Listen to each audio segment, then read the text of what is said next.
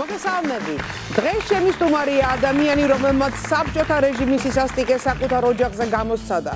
მიუხედავად ამისა, ამ რეჟიმის მთავარი შემოქმედი დღეს მისი თაყვანისცემის ობიექტია. საზოგადოება სტალინელის თავმჯდომარე საკმაოდ ტრაგიკული ბედისა და საინტერესო ბიოგრაფიის მქონე ბატონი გრიშაონიანი. სალამი, სალამი, როგორ გამდები? ძალიან დიდი მადლობა რომ მოხვედით გადაცემაში სტუმრად ბატონ გრიშა. მართლა საინტერესო ცხოვრებით გიცხოვრიათ. რამე წელს ბრძანდებით? დამეკარგა პასპორტი აღარა მაქვს. კარგი პასუხი იყო. დაგეკარგათ პასპორტი. მე კი ვიცი ამ მიწისაც ხარ და შენი ვად გამოიყურებით. თქვენ საპატივცემლოდ სტალინურად გამოვეწყე რაღაცა სტალინს რომ მოეწონებოდა ესეთი კაბამაცია. და რა ცუდია თუ რა? არა, ძალიან კაია. ძალიან კარგია. ძალიან კარგია. კი, მეც მომწონს. ჩვენ გადავხედეთ თქვენ ძალიან საინტერესო ცხოვრებას თვალი ბატონო გრიშა და აი ესეთი თემები ავარჩიეთ თემები ეკრანზე. საბედის წერო გასროლა. ფრიადოსანი უფანჯრო სკოლიდან. სტალინის ფენომენი. სტუტკალაკში დარწეული აგვანი. ტრაგედია უგმიროთ ბატონო გრიშა ჩვენი თამაშის წესი ასეთია თქვენ ახლა უნდა დააჭიროთ ღილაკს ხელი და ვნახოთ რომელი თემა ამოვა პირველი სანამ ბატონ გრიშაონიანის ცხოვრების დეტალებზე გადავალთ, მინდა ერთი ამბავი გაგანდოთ, რომელიც ონიანების ოჯახის თითქმის ყველა წევრს შეეხო. ბატონი გრიშას უფროსი ძმა კოლეონიანი საბჭოთა კავშირის სადაზვერვო აგენტი იყო გერმანიაში, მაგრამ ბედის უკუღმართობით საბჭოთა კავშირმა ის გერმანელების სასარგებლო ჯაშუშობის ბრალდებით გაასამართლა და კოლონიაში გაამწეს. რატო ბატონო გრიშა? პირველი დღეები იყო ომესა და უამრავი ასათასობით ადამიანი მოხდა თქვეთ და მათ შორის ესეც არეულებაში მოხდა ისე რომ თქვენ ჩავარდა მაგრამ იქ რომ გადავიდა გერმანიაში გერმანიაში არჩევდნენ იქ რასობრივად ჯანმრთელობის მიხედვით ვი როგორ გამოდგებოდა, ვისაც გამოდგებოდა. ხო, ჩემი ძმა ძალიან იჭერი იჭი იყო 38 წელს ის ფიზიკა მათემატიკის ფაკულტეტზე სწავლობდა და იქიდან წაიყვანეს ის ხარკოვში სადივენსანდო სკოლაში. ჯერ კიდევ ომი დაწყებული არ იყო, წარმატებით დაამთავრა იქ ეთყობა ეს უმაღლესი სასწავლებელი. ჩვენ უკვე აღარ ვიცოდით ის სად იყო და როგორ სად მოღვაწეობდა და მოხდა ის რომ როდესაც ის გადავიდა გერმანიაში იქ ჩავარდა ოპერაცია და ჩემი ძმაც ხვეჭეს და იქ იყო ქართველთა ჯგუფი რომელიც არჩევდა. სხვა სხვა კატეგორიის კომისიის წევრები იყვნენ და იქ აღმოჩნდა ჩემი ძმის სტუდენტობის მეგობარი ისე სვანი გაბლიანი საკმაოდ ცნობილი გივი გაბლიანი რომელიც მუშაობდა ვერმახტში ერთ-ერთი თანამდებობაზე ვერმახტში მუშაობდა დიდთანამდებობაზე დიახ დიახ სწორედ იმის მეშვეობით მოხდა ისე რომ ჩემი ძმას არ გაუულია იქ კონცლაგერები და სხვა სხვა და მოხდა იქ სადიესანდო სკოლაში ორმაგი აგენტი რომ გავხდარი. რას მელაპარაკე? და ორმაგი აგენტი იყო მე? Не думай о секундах высока. Еще никогда Штирлиц не был так близок к провалу. Штирлиц.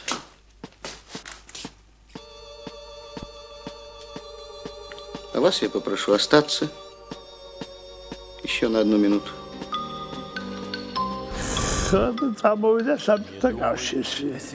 Te tara istorii. იქ ვინც ასწავლიდა სადივესადო სკოლაში ის იყო ჩვენი აგენტი და რო ჩამოვიდა საბჭოთა კავშირში დივე ბერია რას მუშაობდა? ხო ნუ აბა როგორ კაცო ხო და იქაურმა ლექტორმა დაიჭირა ჩემი ძმა ხარკოვში იმ ქალაქში სადაც ის ასწავლიდა. ფოიმიაში მისცეს 10 წელიწადი, მაშინ მაქსიმუმი სასჯელი იყო უმაღლესი ზომა დახრა და და თუ დახრა და არ იქნებოდა, ესე იგი იქნებოდა 10 წელიწადი. და შემიძლია დიდი ხანი იყო დასახელთა რიგებში იყო დასახურეთა რიგებში? ხო იყო რა თქმა უნდა 6 თვე თუ რაღაცა რამ გადაარჩინა? ეთყობა ეთყობა ძალიან ბევრი გროვდებოდა ეს დასახელთა რაოდენობა და ამდენი ხალხიც რა თქმა უნდა ჯერ ცოდვა იყო და მე ხალხი საჭირო იყო ალბათ იქაც სადაც ხო სადაც საჭირო. ხო და ცოდნე ადამიანი. შეუცვალეს მას და ვისე საათის პადიმრო კოლია ონიანმა მოახერხა ის, რომ კოლონიაში თანამდებობაც მოიპოვა. ქალთა კოლონიის კომენდანტი გახდა, სადაც პოლონელი ტყვექალი შეუყვარდა. და რა დღეში იქნებოდა კალები წარმოქმნილი? ეს იყო კალიმაში, ესე იგი უკიდურეს ჩრდილოეთში, ესე იგი რა.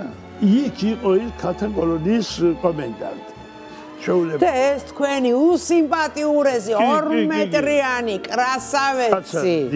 გაგიჟდა ეს ხალი ხო რო დაინა ეს იყო მაკოვსკაია. მაკოვსკაია თავადის გვარი ვიდა სახელი იყო ელენა. ელენა მაკოვსკაია. და ჩვენ წერდა ყოველთვის წერილებს ელენა ვაშნევსკაია ელენა მაკოვსკაია. ხო და მაშინ დახურული წერილები იმდენად შედება და მაინც სამკუთხაბარათები იყო მაგრამ ის ატკეთკებს აგზანიდა რაღაცაირად ისეთი რამაზი ხელი ქონდა არაჩო მახსოვს. ხო და გაუჩნდათ იქ ესე იგი ქორწლების garaშე ბავში რა კოლონიაში. კარგი რა. ხო ადგა ჩემი ძმა ხო არა ჩაულებრივად წერდა კითხულობდა რამე უდიდეს განათლების პიროვნება იყო და მის წერა სტალინის წერილი.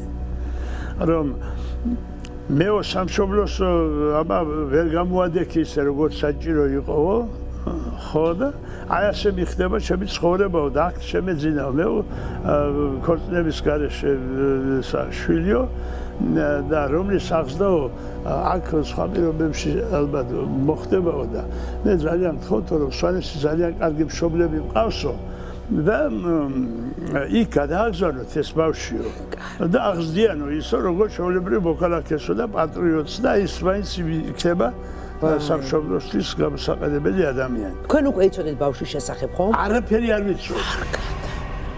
არაფერი არ ვიცოდი. და მართალია ძალიან გაგვიხარდა ხარი, დავკალი თელი სოფელი დავპატიჟეთ. ცოცხალი ყოფილა ჩემი ძმა, ჩემი ძმა შვილის ყოლია და მოგე დიდი ამბავი მქონდა. ეს იყო დაახლოებით თებერვლის თვე. ნუ ეს ახლა სანამ ჩავიდა იქ, სანამ და განიხილეს ეს წელი სანამ რაღაცა ამასობაში მოვიდა ახალი წელი. ერთი წელი დაჭირდა. ხო, ერთი წელი და ნუ ესე იგი 8 თვე, 10 თვე თუ რაღაცას. ხო და სახალხოდ ვებზადებით რა. გახარებულები ვართ, რომ შვილი ცოცხალია, ჩვენი ძმა ცოცხალია, ძმის შვილი შეგვეძინა და რაღაცებიც და ხო და მოვიდა დეპეშა. რომ გიორგი ონიანი ჩამოყვანილი არის ქუთაისში. და ჩამოდითო მამაჩემს წერე დომენტის ბავშვის მისაღებათო.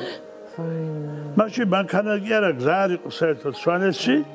მამაჩემი ფეხით ლენტეხიდან შემიძლია 30 კილომეტრია ლენტეხამდე ჩემსოფლიდან.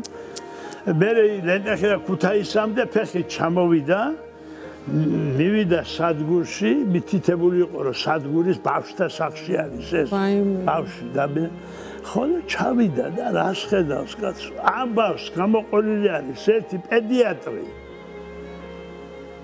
ხო და ერთი მილიციონერი რა. უსაფრთხოების მიზნი. და ბავშვს რომ ბავშვი რომ გადმოსცეს აქტი და ეხლაც გვაქვს აქტი.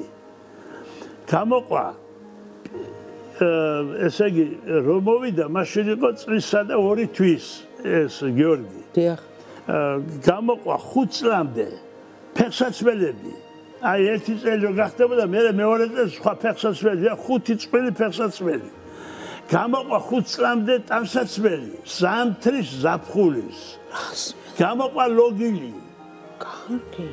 აბა ვინ უწევდა დედობას? დედობას უწევდა დედაჩემი. 57 ის იყო დედაჩემი და პიტი ქვია პატარა პურებს აცხობენ ყურებიანი პურებია, რომელიც ღმერთს უნდა შეულოცონ, გაიგე? ესე. და პიტი ქვია მაგას, სანდრა პიტი. პიტი. ხო და ე ბავშვ პიტ და ესე იგი წყალი მოწყურდა, გაიგე? და პიტი რო უთხრა და მე და ეს ბაბაჩე დიშვილი ყადა, ჩვენ და იმან იმან უთხრა რა ჩვენ იქაც შოდიათ პიტიო და გამოუცხოთ მას პიტიო. 8 წლის იყო პატარა გიორგი, როდესაც უკვე კალიმიდან ჩამოვიდა თქვენი ძმა, მამამისი. ხო, ეს 57 წელში 57 წელში ხრუშოვმა რო გაათავისუფლეს ყველა ერთად. ყვანი მართალი ის რა. და ის ის მოხდა ახლა ჩემი ძმა სამაში, მაგრამ დედაშვილი შეხვედრა თუ შედგა ბატონო გრიშა. აა სხვათა შორის მე მიწერ მოწერა ყოველთვის იყო შვილსა და დედაშორის. მე იჩივლა იმან პოლონეთის საელჩოში, რომ პოლონელი კაციო ბავშვიო ცხოვრობსო საბჭოთა კავშირშიო, საქართველოსშიო. ხო. და ბავშვთა კონვენციითო დედა შეგუთნისო ბავშვიო და გთხოვთო რომ ჩაერიოთ სამსაგავშირი საერთო სუცხათო რომ ბავში დაგვიბრუნო პოლონელებს და მე დედას დამიბრუნო ხო. ну ეხლა ეს ჩვენ ხო რა თქმა უნდა არ გავატანდით მაგას სულ დავხოცეთ და რო მოდიოდნენ ამ ბავშვის სასაყვანა. მოსკო სასამართლოები ადგილობრივი ჩვენი უზენაესი მოსკოვმა მე ეს სამხედრო ტრიბუნალმა გაარჩია ესა და მე გასლაბარ დიდი საკ დიდი ამბავი იყო და სანამ 18 წელი გახდა მანამდე ყოველ წელს ამაზე იყო მთელი ამბავი პოლონეთსა და საბჭოთა შორის ხო და ჩვენ კიდევ ჩვენი ჩემი ბიძები, мама ჩემი, ბაბუა ესენი ამჟორას აიყვანდნენ ტყეში გამოქვაბული ხონდათ და იქ ცხოვრობდნენ კვიდან კვიდამდე და გვატყობინებდნენ საქართველოს კგბ რომ მოსკოვიდან მოდის კგბ ბავშვის წასაყვანად. კაი, არ გადამრე. რა თქმა უნდა. ვაი, ფილმია. იმიტომ რომ არავის არ უნდა და ეხლა სამთაკავშირის ახალგაზრდა ბიჭი რომ წასულიყო იმაში პოლონეთში და გაეტაცათ ეს ბავშვი. და ძალიან გვეხმარებოდა მოკლედ ეს კგბ ჩვენზე უფრო მეტად იყო ჩართული ამ ამ საქმეში. ხო. საბოლოო დედაშვილი შეხვედრა თუ მოხდა? ჩამოვიდა მოსკოვამდე და ამ დროს გაჩიანში ვიღაცას მიეშველა ბრადიაგარუსი მან სტეკლო ჩამოაგდო იქიდან და იმის აყენების დროს მინის ნატეხი შეერჭო იღლიაშის ქვეშ და ხუთ წუთში სანამ დემანხანა მოვიდა და სისხლისაგან დაიცალა. არტერია გაუჭრა იღლიის ქვეშ. ანუ გიორგი 32 წლის ასაკში გარდაიცვალა? აბა აბა და იმ დედას შევატყობიეთ ჩვენ რო არ ჩამოსულიყო რაზე უნდა ასეთი უბედურება და მოსკოვიდან უკან გაბრუნდა ეს კარი აუ. მე ვიცი რომ დაოჯახება მოასწრო გიორგი მასწავლე გიორგი გიორგის ორი შვილი ყავს გათხოვებული ეხა ბავშვები ყავთ მაგათ და არაჩვეულებრივი კაი გოგები არიან. აუ ძალიან საინტერესოდ ყვებით ამ ყველაფერს პირი დავაღე მაგრამ ჩვენ უნდა ვნახოთ ამ თემის სამოსლარიანი კითხვა რომელ წელს გაოფდა საბჭოთა გულაგების სისტემა? გამოვიდა დადგენილება 57 წლის და საერთოდ ბოისპო აღარ აღარ იყო ეს ზუსტი წელი. 57 მოდი ვნახოთ სწორი პასუხი. გულაგი შრომითი გამოსასწორებელი ბანაკების და კოლონიების მთავარი სამართველო იყო რომელსაც საბჭოთა პერიოდის სიკვდილის ბანაკებს უწოდებდნენ. პირველი ბანაკები 1918 წელს გაჩნდა. 1954 წელს დაიწყეს პოლიტიკური პატიმრების გათავისუფლება და სისტემა ოფიციალურად 1960 წელს გაუქმდა. სამწუხაროდ 60 წელს გაუქმებულა და თქვენ 3 წელი დაგაგდათ ვერ მოიგეთ 300 ლარი ბატონო გრიშა. არა უშავს. ნუ ეთყობა თქვენ 57 გახსოვდათ. წინ წავიწიოთ ბატონო გრიშა და დააჭირეთ ღილაკს ხელი.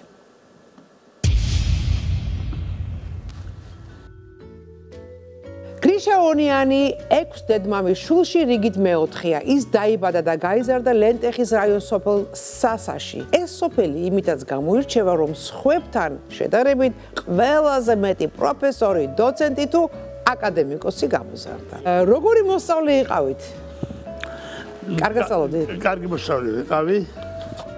რა თქმა უნდა, ყველა საგანში ერთნაირი ძლიერი არ ვიყავი, მაგრამ ჰუმანიტარულ საგნებში ძალიან ძლიერი ვიყავი და მოსწავლე მასწავლებელი როდესაც მოიწყენდა და რაღაცები და ხასიათი არ იყო, მეტყოდა ხოლმე რომ შენ აუხსენი გაკვეთილი და მე თქვა თუ რამოდენი რამოდენი მასწავლე. თქვენთანაც ასე იყო რომ თქვენი სკოლა შორს იყო სახლიდან და დიდხანს გიწევდათ ფეხიციარული?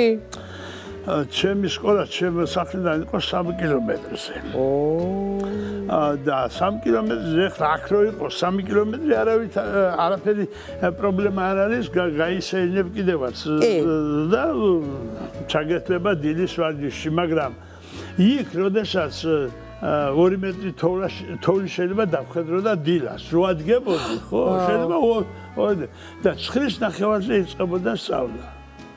ხო და არ შეიძლებოდა მე წარმოდგენას არ მქონდა რომ სკოლაში არ წავსულიყავი წარმოდგენას არ შეიძლება ამ ამის ბავშვს როგორ შეიძლება წარმოედგინა რომ სკოლაში არ წასულიყო რომ სხვა იყო და სხვა იყო რომ აბა თუ თუ გახდებოდა თქო ან ფეხს მოიტეხდი ან რაღაცა საქმედი არ შევთქო კი ბატონო. და ამ 2 მეტრო თოვს ვანგრევდით ასე აი როგორ ტანკები ისე მივდიოდით ამ თოვში ბავშვები. და თქვენ შენობას ესე გავიგე მართლა არ ქონდა არც ფანჯარა და არც გათფობა უზარმაზარი ფანჯრები ქონდა მაგრამ არ ქონდა მინები ჩასმული ამ ზარბაზნეის რო ჩამოვარდებოდა ეს ბომბი იქ ხამდებოდიოდა ხმა ანგრევდა ყველა ჩამოცვლებული და ამდენჯერ ჩასვამდნენ ახლა არ ვინიყო ჩამს ვინიყო ჩა და სუციოდა ამის გამო. სუციოდა ეს სველი შარლები გაგვეყინებოდა ფეხზე.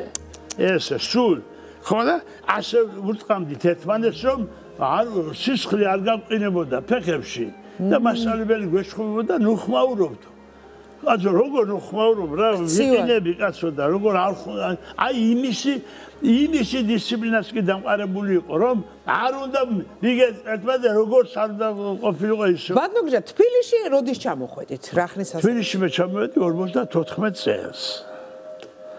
სკოლა რო დაამთავრე სკოლა რო დაამთავრე წამოვედი. ინსტიტუტში ჩასაბარებლად? ხო ინსტიტუტში საჩაბარებ ჩავაბარე სასულიერო სამართლის ინსტიტუტში.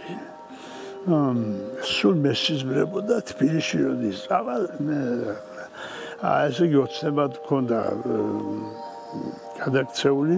მე სულ ვიცოდი ესე იგი საჯომელი მაგლა სასწავლებელი იყო აქ ტერიტორიულად რუკებ ჩემი ძმები სწავლობდნენ და იმათ ჩამოქონდა მე ეს თეატრები სად იყო რა იდგმებოდა ის ის პროგრამები. აფიშები აფიშები პროგრამები პროგრამები ხარიგებდნენ იმაში. იქ ვის რომელს ასახერებდა მე ეს თითქმის ზეპირად ვიცოდი მთელი რეპერტუარი ჩვენი თეატრების რა. სლაბარაკო აბა ბავში და ეხლა ხალხმა ახალიციან კაცო ბავშვებმა რა სპექტაკლები გადა და პირველი რომელ თეატრში წახვედით რუსთაველი რა ნახეთ? მე რუსთავ რუსთაველში მაშინ ნახე მე სამშობლო. ასეთი პატრიოტული.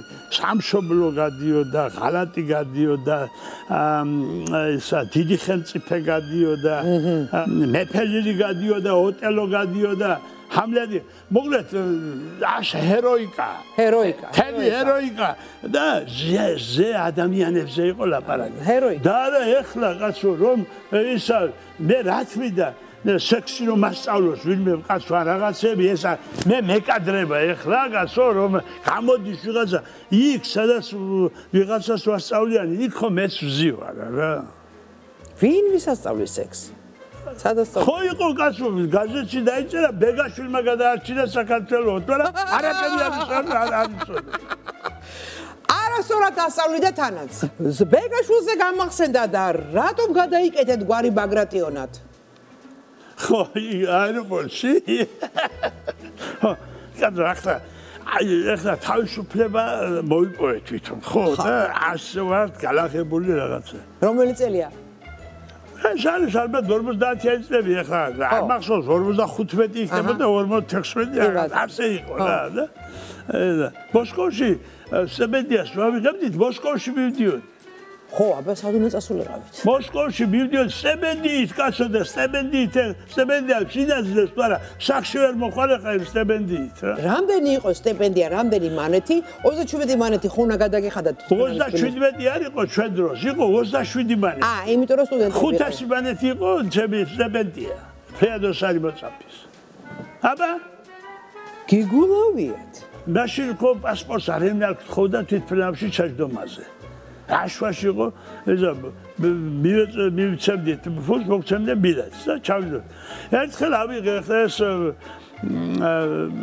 ბილეთის ასაღებად ვარ იქში ჩამდგარი და ერთმა თქვა ციციშვილი ვარ მეო და მისცეს მეორე კაცი მივიდა ამბილახვარი ვარო ხო მივედი მე ხო და რა თავადები არიან და მე რა ვთქვა ხა ონიანი ვარ ყველგანზე მე არ ვინარ თხოვს და საბუდო ბაგრატიონი ვარ მეთქი გრიგორი. გამოაცხადეს რომ ერთი საათი თაგვიანდებსო გადაფერე ნუ ჯადაბა საათი მოიცავთ მე კიდე გადადეს და მე გამოაცხადეს რომ ვისაც გინდა თუ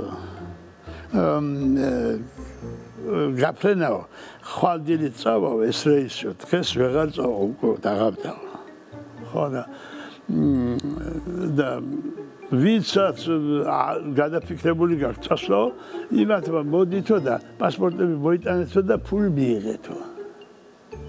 ეს რაც ბილეთი გინდა ხო და მე ამ ბაგრატიონის პასპორტი სამქონდა კაცმე და ხო დავგაზე ისე დაგავიცეთ ის ოზრდიმანეთი მოდი ვნახოთ ამ თემის სამასლარიანი კითხვა. ვნახოთ ვიდეო სადაც კითხულობთ ლექს სხვათა შორის ძალიან ემოციურად და მხატვრულად კითხულობთ ამ ლექს ვნახოთ. სულ ერთ მაჩიკამ დამათროს და გამახსენდი ეხარ სათქნაზე გახსოვთ თუ არა ვინ ზის თქვენ გვერდით ამ ვიდეოში? ეს არის ქალბატონი და მომღერალი ეს ვინც გვერდზე გიზით. აკა? ეხლა ნინო ნინო ნინო ჩხეიძე კაი მოდი ვნახოთ სწორი პასუხი შევი კაი გოგო. კაი გოგო ხო.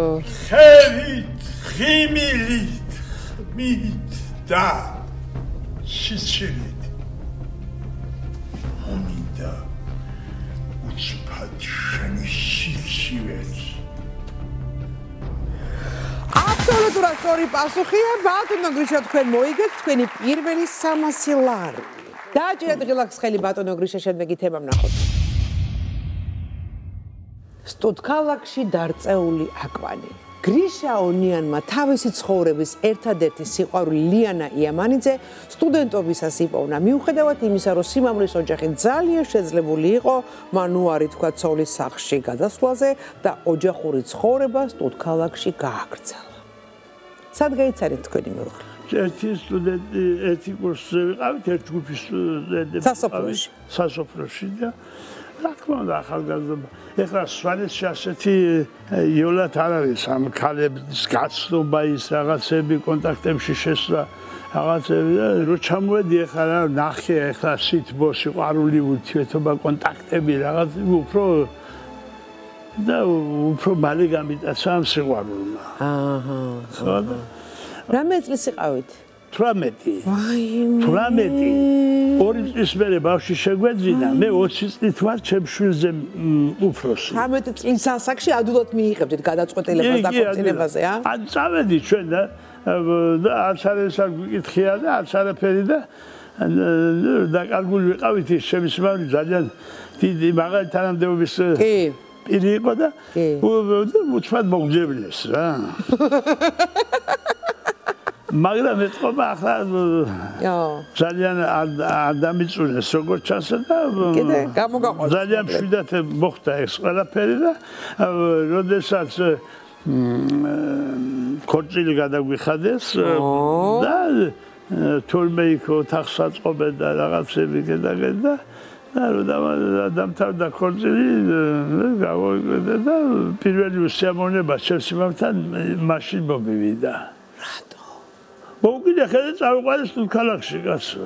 თქვენ უთხარით თქვენ სიმამრს, რომ მე თქვენს ოჯახში არ ვიცხოვრებ, მე უნდა წავიდე სტუდქალაქში. არა, სად მიდიხარ თუ და სტუდქალაქში ვიდიოთ და მე აგერ ბანკარავდა და მოდითო რა რა თვით წადი და მოდითო ხო აბა იმასე გონა ისე მიდიოდი და მე მოსატანა და არა ბესკი მე იქონდა დავრჩედა თქვენს მეუღლეს უნდოდა სტუდქალაქში ცხოვრება სადაც მე ვიქნებოდი იქ უნდოდა რა და ამას მიხვდა თქვენი სიმამრი.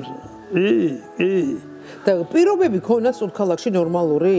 საკუთარი ოთახი მაინც ქონდათ? საკუთარი ოთახი მქონდა ერთი მაგრამ როდესაც სოლი ვითხოვე უნივერსიტეტის სექტორატმა მე გამომიყო უფრო დიდი ბინა კაიდი და არა ბინა და უფრო დიდი სივრცე. დიდი ოთახი ყო ერთი პატარა რაღაცა საქმესო ვაკეთებდი და გამოვიარე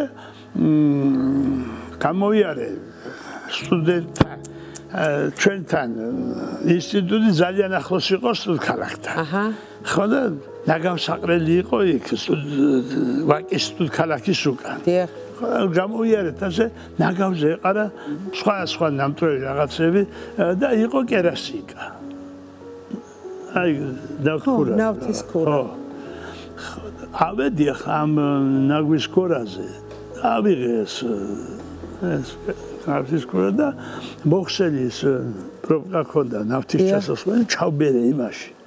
და არ გაუვიდა სულ ეს არ გავიდა დაიბე ხო და კარგი ყოფილა და წამოვიღეთ სახში. კარგი. გავრეცხეთ ესა კარგად კარგი. საბურთალოზე ბაზარი იყო იქ ჩავედით გული უყიდეთ გული იმას შემოსასწრელი მე იქ ასეთი ორი ის ქონდა პატარა სანატორები ვით რაღაცა ის ვიყიდეთ ორი. ესე მაგდანას ლურჯასავით გამოაწყვეთ ეს კერასიკა ტაფა ვიყიდეთ კარტოფილი ვიყიდეთ ზეთი ვიყიდეთ რამე ვიყიდეთ და შევწვით პირველად ეს კარტოფილი. კი მაგრამ ბატონო გრეშა თქვენ შეგეძლო თქვენი სიმავრისთვის გეთხოვათ და გასკურასაც მოგიტანდათ და ყველაფერს არაფერი არ არ არ ჭირდებოდა. მე ეს არის უკიდურესი სიცხელი სვანეთში რა. ზეციძეობა რამე ეს ეს არ არ არეტევა რა დღემდე ასეთი კი არა კაცი კაცზე თხორებ დღემდე რა არის ასე კაცო მაგრამ კი ბატონო, მაგრამ ბავში რო გაგიჩნდათ პირველი შვილი, უკვე სხვა პირობებია, იქ ბავშვია, ბავშვს მოვლა უნდა, სათანადო პირობები უნდა. თქვენ ალბათ აბაზანა და ვანა ეგრეთ წოდებული აბაზანა და ტუალეტი დერეფანში გექნებოდათ, ხო? რთული იყო ბავშვის მოვლა. რა, სულიან ოჯახში ვიყავი გაზრდილი. აჰა. ხო და ვიცოდი ჩვენ უფროსი უცოსდი და უცოსი მისა და ასე ჩვენ ეს ფესტასასში გავიზარდეთ ერთ-ერთ ლოგიში ვიყავი და ყველაფერი ესე არისო. ხო და მე უფრო კარგად ვიცოდი ესა და იმას ეძინებოდა ახალგაზრდა გოგო იყო რაღაცები იქედა და დათქმული მქონდა რომ პირველ ღამის პირველ ნახევარში ის იქნებოდა თუ დაწყებოდა და ეძებოდა ამიტომ ფეხზე იდგა ხო და ის რო დაწყებოდა მე მე აღგებოდი და ასე ვიყავი და როდესაც სტუდენტებს ლექციებზე წავიდოდით ჩვენ კარებს ღიასტოვებდით იმაში ისე არ იყო რომ არავინ არ ყოფილიყო იმ საერთო ცხოვრებაში ხო და თუ ატირდებოდა ეს აკვანში ჩაკრული ბავში მივიდოდნენ და აურწევდნენ იმას და თუ ძალიან გაჯიუტდებოდა ამოიყვანდნენ კიდევაც და რომ მოვიდოდით მოიყვანდნენ ბავშვსა და ესე იყო რა დაბანითაც მეუბანდი იმაში ლახანკაში. როდის გადახვედით უკვე ბინაში, რასაც ვქია და რანაირად მიიღეთ ეს ბინა? სიმამრე არ დაგეხმარათ? სიმამრი ცოცხალი აღარ იყო მაშინ. სიყვარული ცავსე ოჯახში იზრდებოდა სამი შვილი, ოთხი შვილიშვილი, ოთხი შვილთა შვილი. ერთ-ერთ თქვენ შვილზე ცოტა მოგვიანებით ვისაუბრებთ, რომელიც ტრაგიკულად დაიღუპა.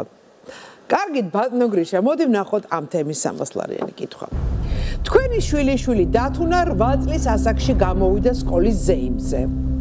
გახსოვთ თუ არა რა სიტყვები წარმოთქვა მან ზეიმის დასასრულს? მე ვარ სტალინელიო და ვიქნები მიდღემში სტალინელიო მოდი ვნახოთ სწორი პასუხი აბა 8 წლის ვიყავი სკოლაში რო გქონდა ყენული ზედოფლის ზეიმი და გამოვედი სცენაზე თქვი რომ მე ვარ სტალინელი და ვიქნები კიდევაც აბსოლუტურად სწორი პასუხია, ვაიმე რა საყვარელია დათუნა გიждები. თქვენ მოიგეთ 300 ლარი ბატონო გრიშა და თქვენ გაგ ჯამში უკვე 600 ლარი დააჭირეთ ღილაკს ხელი. ბატონი გრიშას და მისი ოჯახის ბედნიერება ერთმა გასროლამ დაასრულა. მისი უმცროსი შვილი დათუნა 15 წლის იყო, როდესაც მეგობრის ოჯახში დაუდევრობით იარაღი გავარდა და მისი სიცოცხლე შეიწირა. როგორ გაიხსენებთ ამ დღეს? რა მოხდა ბატონო გრიშა? ვიცი რომ თქვენ ამ თემაზე არსად არ გისაუბრია არასოდეს. ია მხოლოდ შენ აი შენ ხოც როგორ პატივს გცემს თელი ჩვენი ოჯახი და თელი ჩვენი და იმიტომ თუ ვიტყვით ხარა მადლობა. მე ხარ იზარში მუშაობდი ზამთრის საძოვრებზე და წლების განმავლობაში ვიყავდა ვერ ვიცოდი ამ ბავშვებისთვის რომ მედევნან და რაღაცები და ჩვენი მეზობელი იყო ერთი რომელიც პირველ სათულზე ქონდა მაღაზია. რაღაცა პირველ მაღაზიები და ამ ბავშვებს ხო სუსქნობა უყვართ ყოველთვის რაღაცები და მე ვიგდა და ჩემი დათუნა სტოლი ბიჭი ყავდა და ერთად იზრდებოდნენ და როგორც მაგათ ოჯახში ისე ჩვენ ოჯახში მაგათთვის გაყუთბილი ლუკმა არ არსებობდა. ნუ ერთხელაც ადრე მონადირე ყოფილეს კაცი და რაღაცები და იარაღები ქონია სახში რაღაცა და გამოიღეს ამ ბავშვებმა და ბავშვები. ხო და მოხდა ის რაც მოხდა. ხო და სასამართლოზე ვარ კაცო და ერთ რაღაცა დიდი სასჯელი მისცეს რა. მაშინ ასე კი არ იყო კაცო რომ გაზეთებში არჩევენ ამ კაცო. მაშინ პროკურატურა იყო, მილიცია იყო კაცო და ვის შეგახედებდა საქმეს ხო და ერთ შვიდი თუ რვა წელი მისცეს. ვინ იმერც იმ ბავშვს? ბავშვს. ბავშვს. და ამ მამას კიდე 4 წელი მისცეს რა. თქვენ მიჩივნეთ ბატონო შე არა კაცო მე ავდექი ორჯერ ავდექი სასამართლოზე მეჯო ერთ-ერთი მაინც იმად გამოუშვით სახში კაცო ერთ-ერთი კაცო გამწყვე ხო შეიძლება და რომ ჩემ ბიც გავარდო და იარაღი და ხო და ეს ოჯახის ამოწყვეტა აღარ ვიჩება კაცო ოჯახში რა აი ასე და ასე და ბედრვა და და მართა და დავიღუპე რა ამ ტრაგედიამ სრულიად შეცვალა გრიშაონიანის ოჯახის მომავალი ქალბატონი ლიანა ოთახში ჩაიკეტა და განმარტოებაში ლოცვით უკლავდებოდა შვილის დაკარგვით გამოწვეულ ტკივილს. სულ მეგონა მე რომ ცეცხლის ალში ვიყავი გახეული. მე სიზმრებოდა რომ იწოდა ჩვენი სახლი. მე იშვიათად შევსულვარ მაგის ოთახში არა ალბათ არ შევსულვარ, მაგრამ ერთხელ რაღაცნაირად ალბათ შემეშალა თუ რაღაცა შევედი ხო და გარშემო ხო სულთენად სურათები იყო ხატები იყო ეს სასანთლეები იყო ყველგან დანთებული სანთელი იყო და ქვეშ მისი ტანსაცმელი მისი ლოგინი მისი რაღაცები მოტოციკლეტიც კი ხავდა ის შეშოყალი მოტო ფერო მოტოზე ძახოდა რაღაც. ხო და ასევე ჩაწვა ის საფლავში ის რა გაუხარებლად თქვენი მეუღლე? აბა გადაყვა იმას თავის შვილსა და ძალიან ბევრი იტანჯა, ძალიან ბევრი იწვალა. შავი არ გაუხდია, სუგლოვობდა. სუგლოვობდა. არ გაუცინა. არა, არა, არა. არა, სხვა შვილებიც ხომ ყავდათ და არა, ვერაფერს ვერ გადაიტანა ეს. საქმე იმაშია, რომ შვილის სიკვდილი ისეთი ძიმია საერთოდ რომ სვანეთშიციან თქვა რომ შვილდარ მამასთან სამძიმარზე არ უნდა მიხვიდეო. თუ შენც ეს უბედურება არ აგაქნა და ნანახიო რა. იმიტომ რომ შენ მას ზერელეთ ეუბნები რაღაცას რა. ის შენ ისი არ ეუბნები როგორც მას მას წარმოუდგენია რა ეს დიდი უბედურება. თქვენ რა დაგეხმარათ ამ მდგომარეობიდან გამო? მე დათუნა. მე დათუნა. მე დათუნა. მოდი ვნახოთ ამ თემის სამასლარიანი კითხვა. მოდი ვნახოთ ფოტო. იცი თუ არა ვინ არის ამ ფოტოზე გამოსახული? აა პატარა კორექტირება უნდა გავაკეთო, ასეთი რამე არასოდეს მომხდარა ფარული კონვერტის ეთერში. მე ხა პატარა დათუნას უნდა ვთხოვო, რომ შემოვიდეს და დაეხმაროს ბაბუას. დათუნა გთხოვ, ჩემი ბიჭი.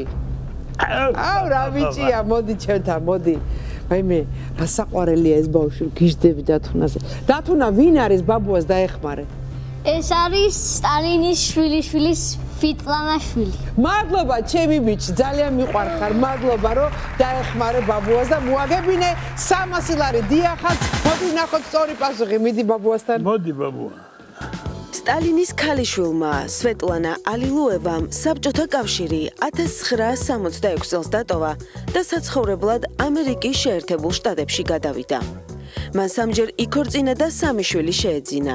ყველაზე უმცროსი ოლგა პეტერსია, თუმცა მომავალში ოლგამ სახელი შეიცვალა და კრის ევანსი დაირქვა. ის ახლა 48 წლისაა და ორეგონის შტატში, ქალაქ პორტლენდში ცხოვრობს. ბატონო გიჩა თქვენ გაქვთ უკვე ჯამში 900 ლარი და დააჭირეთ ღილაკს ხელის შემდეგი თემა ვნახოთ. სტალინის ფენომენი გრიშა ონიანის ცხოვრებაში სტალინის კულტი ბელადის გარდაცვალების დღისადმი მიწვილ სამგლოვიარო მიტინგზე დაეწყო. მეათე კლასელმა გრიშამ ისეთი ემოციური შოკი მიიღო, რამაც მთელი მისი შემდგომი ცხოვრება განსაზღვრა. რა მოხდა? იმ დღეს სად ხდებოდა ეს ამბავი? ეს ხდებოდა სასაში სოფელში თქვენ მოეწყო იქ სამგლოვიარო მიტინგი. და სკოლის დირექტორმა მითხრა რომ შენ უნდა გამოხიდე მიტინგზე სიტყვითო გამოვედი და ძალიან ამაღელვებელი სიტყვები თქვი იქა ემოციურად რამე და ბოლოს იმდენად მომაწვა ეს გზნობები რა რომ თავი ვეღარ შევიკავე და ამით ყდა ისტერიკული ტირი რა და მოდის ერთნაირად ცრემლი აი ქედა მოგრეთ შოქში ვარ და უდა დაბრევდა ყველაფერი. და მოვა და ვიღაცა და ხელი მოხდა დირექტორი იყო სკოლის დირექტორი. ხაბულიანი იყო ერაჯ ხაბულიანი ჩემი აი მამის მაგივრობა რო განიცია ესეთი კაცი და ამიყვანა ხელში და რო ჩავედი გატენილი იყო ხალხი როგორც კლუბში ისე ეზოში ხო და გაგამაწოდეს ერთმანეთზე რომ ხაერზე გავეყვანეს. და ხო და გამაყოლეს ტაში კაცო ამას სამგლოვია რომ მიტინგს. ამ ხალხმა ავაციებით იმით ამით გამოვედი ეხლა სკულში მესმის ის ტაში და ის სიამოვნება თურმე ჩამონათვალში თუ რა ადამიანს რა უფრო აღგზნებს და რისკენ არის მიმართული მისი სტრაფვა ნარკოტიკი ყოფილა მე-7 ადგილზე. პირველ ადგილზე ყოფილა ხელისუფლება. ლასტ ხოლო ეს ხალხისადმი ასეთი აღთოვანება გახდა ჩემთვის იმისი პირველი ნიშანი, რომ მე როგორმე ხალხის აში და დიდება დამემსახურებდი. ყველა მიცის და რა არის დასამალი რომ ბატონმა გრიშა მოახერხა და თავისი ცხოვრების დიდი ოცნება აიხდინა. მან სტალინის ფენომენის კვლევის სამეცნიერო ცენტრი ჩამოაყალიბა. ცენტრის კარი ღია მსოფლიოს ნებისმიერ ქვეყნის მოქალაქისათვის, ვისაც სტალინის ფენომენი აინტერესებს.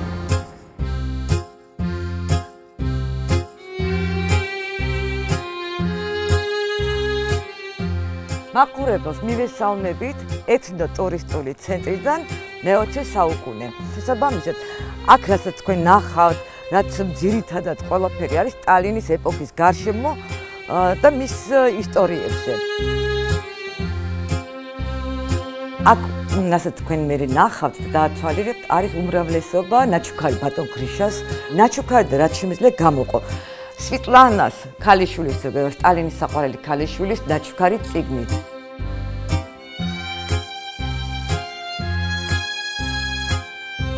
დიდი ბელადის პირადი ტელეფონები. ბევრი ამტკიცებდა დაბალი იყო და იყო საკმაოდ დაბალი სიმაღლით და ეს არის ნაჩვენები როცა დაჭერილი იყო ხუჯერი იყო სულ დაპატიმრებული და ნაჩვენები არის მისი სიმაღლე რა სიმაღლით არის და ნორმალური სიმაღლის. ერთ ეირანში ქონდა დღევანდელი მობილური როგორ შეგვიძლია ხა თქვა დავარქვათ ну აი მობილურის ფუნქციას ასრულებდა. ნებისმიერ ადგილში უკავშირდებოდა სოფლის ნებისმიერ ეთერიანში მაგალითად ყველანაირი ინფორმაციას ღებულობდა მოლაპარაკებების დროს. ძალიან უყვარდა თავისუფალ დროს ჩხირკედელობა სადაც დადიოდა მუდმივად სულ დაქონდა აი ეს ხის ჩემოდანი რომელშიც რასაც ხედავთ რა თქმა უნდა სტალინი ამას ყოველთვის იყენებდა სხვადასხვა დანიშნულებით როცხეში გადიოდა რომ სანადიროდ მიდიოდა სათევზაოდ მიდიოდა და ასე შემდეგ. ბატონ გრიშა საჩუქრად. ამ სურათებში თქვენ ხედავთ რომ ადამიანი რომელიც სოფლიოს ბედს წყვიტავდა როგორც ჩვეულებრივი ცხოვრებით ცხოვრობდა დადიოდა სათევზაოდ დადიოდა სანადიროდ და ის რომ აქ სოფლიოს ბედს წყვეტდა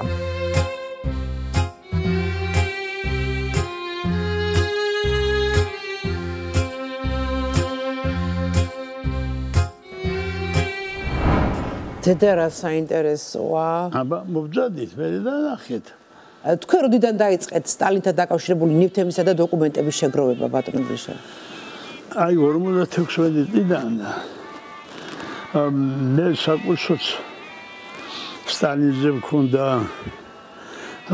ინსტიტუტში მე მე უკვე მქონდა იმისი საფუძველი რომ ყოფილიყავი სტალინის პატივისცემელთა ერთ-ერთი დიდი მაშინ პარტიები და საზოგადოებები არ იქნებოდა მაგრამ სტალინთან დაკავშირებული ადამიანთა წრის რაღაც გარკვეული ხელმძღვანელად თავიდან ვითვლებოდი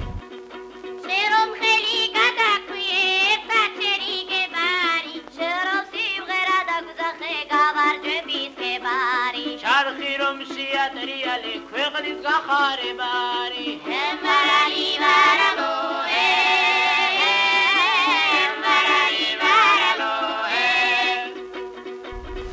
შოვის ტერაქტის ერთ-ერთი ავტორი ხავით 60 წელს ჩამოვიდა საქართველოში. ვერცის ვერ განხორციელდა. არა მე არ ვიყავი მონაწილე მაგრამ ის უკვე სხვა სხვა ძალებიც იყო ჩართული იქა. კარგით. ძალიან ბევრი საფარულ კონვერტეტები არის აკენაცვალე. კარგით, იცით რა მინდა გითხო და არაერთი საინტერესო წიგნი დაიწერა სტალინის ცხოვრებაზე. მაგალითად, 99 წელს რაჯინსკიმ დაწერა წიგნი წაკითხული გექნებათ. მე სებაგ მონტეფიორემ დაწერა 2005-ში თუ არ ვცდები, თქვენ მოგწოთ ეს წიგნი, თქვენ ერთხელ ისაუბრეთ ამასა. მაგრამ აი ახლა ბოლოს, ბოლოს ხლებნიუკმა გამოაქვე ქვეყნა 2017 წელს ციგნის სტალინის ცხოვრებაზე, სადაც სრულიად ახალი დეტალები ამოატივტივა კგბ-ს არქივიდან. ეს ყველაფერი თქვენ იცით, რაც ამ ციგნებში წერია, თუ კიდე უფრო მეტი იცით, ვიდრე აქ წერია. მე სარწმუნო წყაროებიდან ვამბობ, რომ ის რაც საიდუმლო იყო და ის რაც სტალინის პიროვნებას აქცევდა პიროვნებად, ყველა ის დოკუმენტი განადგურებულია. რას მეგაბარი? ბატონო გრიშა, ისტორიამ გვანახა, რომ სტალინმა ძალიან ბევრი და ცუდი საქმეები გააკეთა საბჭოთა ხალხის მიმართ და განსაკუთრებით ქართველების მიმართ. ხო, ეს ხომ ფაქტი, ამას ხო ვერ გავექცევით ჩვენ. ეს არ გიქმით თქვენ რომ სიტყვით, აი ასეთ ყველაზე მაგალითად 27-28 წლებში დიდი ტერორის პერიოდში მილიონ 700 ადამიანი იყო გადასახლებაში აქედან. 725000 დაიხვრიტა და რამდენი იყო აქედან ქართველი ჩვენ კიდევ არ ვიცი და საქართველოს და საქართველოს არა მთლიანად რუსეთის ტერიტორიიდან საბჭოთა კავშირის ტერიტორიიდან რამდენი რამდენი ქართველი ვიცით იგივე მოაზროვნეები მეცნიერები მწერლები ინტელიგენცია რომ დახვრიტეს გაანადგურეს. ამ ყველაფერს ხო სტალინი აკეთებდა სტალინის ხელით იყო გაკეთებული სტალინის აი რა იყო? მე ვერ გავიგე. სისტემა მაგალითად სისტემა რომელიც აი სისტემა როგორ ხო გიყვებოდი რომ მოსკოვში დავდიოდი სტიპენდიით ფულიკული ევროპი კეიფობდი იყიდებოდა ხიზილავაც იყიდებოდა მაღაზიაში მაგრამ ხალხს ხრიტავდნენ დღეს ხიზილავა არის არა მომისმინე ეხლა ეხლა რო არ ხრიტავენ კარგია. აუ ხალხი უნდა დახრიტონ არა არ უნდა დახრიტონ კარგით.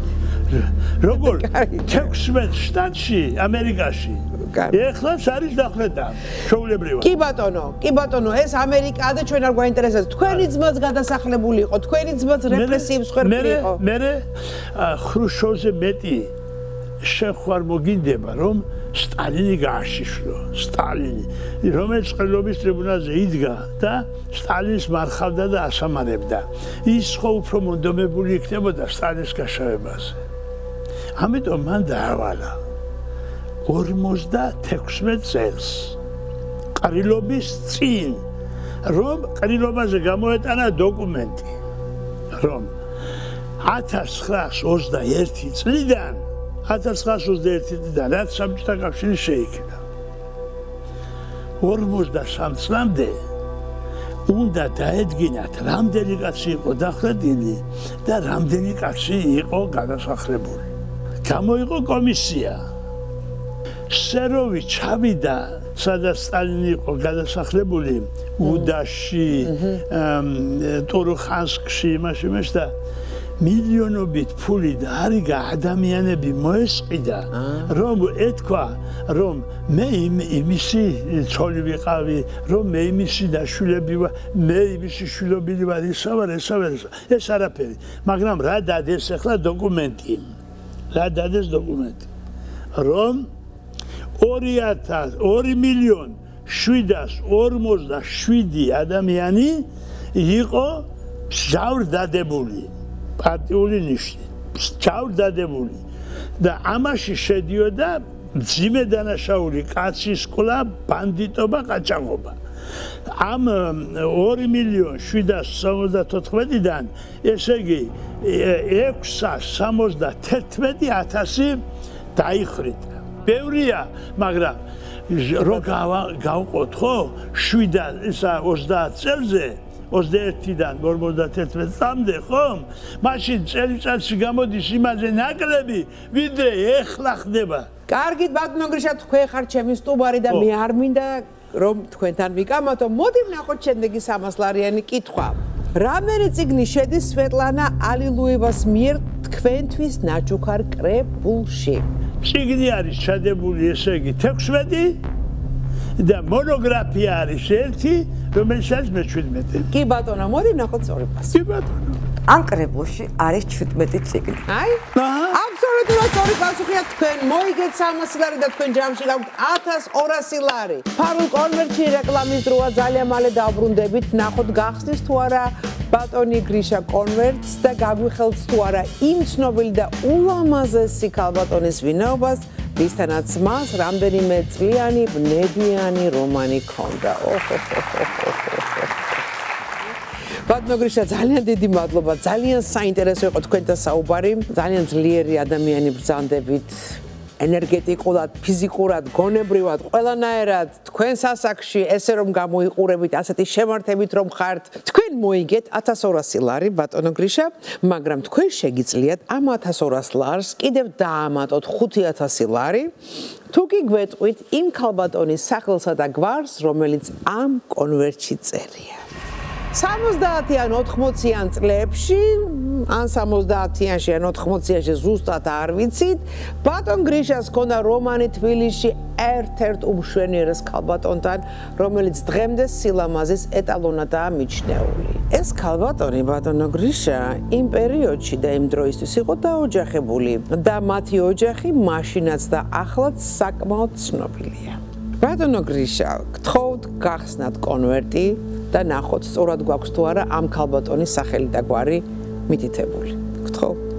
მე ვიცი რომ თქვენ გაგიჭირდება царსულის გახსენება და მე ვიცი რომ თქვენ ეს ხალი გიყვარდათ. გქონდათ გრძნობა. ეს მიყვარს სხვათა შორის. მართლა? ნამდვილად. მაშინ გითხარით ვინ არის ეს ქალბატონი? დიდი ხანია კონვერტი არ გახსნათ, ან გვაინტერესებს. როდესაც პირველი მაუბედურებამ გადაიარა ჩემ თავზე ესე იგი და იმ ხალთან მოხდა რაღაცა? ეს უბედურება აო უბედურება სიცრებში ო შეგიყვარდა მითხრა რომ კრიშა არ დამოუკო არავინ არ გაიგოს. თორემ შენцо გაგაგდებენ სამსახურიდან დაგიჭერენო და მე ოჯახი დამეკრე. ხო და მე რაც უფრო დაბრეულად უყურებდი ამ ხალხს, უფრო მეტი არგუმენტი მქონდა იმას იმისი რომ მე ეს არასოდეს არ მეთქვა. ამდენი წელი გავიდა ბატონო გრიშა, დღეს ყველა ყველაფერს ლაპარაკობ, დასამალი არაფერი აღარ აქვს. მე ვთხარი რომ ეხა მოგატყუე მე შე რომ ეს არ ვიტრაბა ხომ მეთქი მე. აჰა, აჰა. მოდი ეს შევთანხმდეთ. მე ამას ჩემ მეგობრებს ვეტყვი და ისინი არავის არ ეტყვიან იცოდებენ. ჩვენ გვითხრეს.